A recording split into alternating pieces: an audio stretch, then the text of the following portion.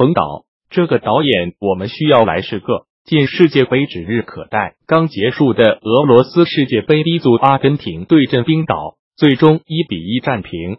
第十九分钟，阿奎罗爆射为阿根廷得一分。阿奎罗第二十三分钟分博阿松禁区内轻松补射扳平比分。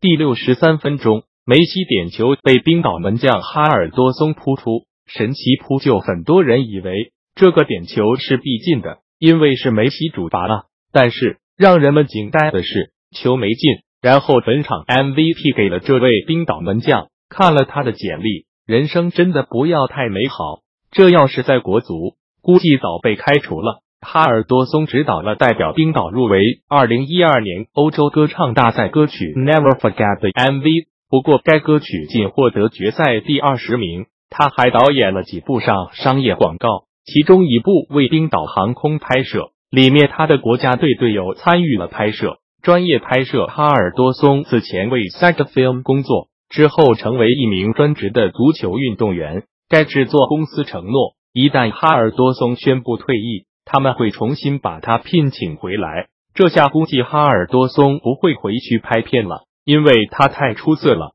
本场 MVP 这种情况，在国内估计想都不敢想，一个拍片的半路出家去踢球。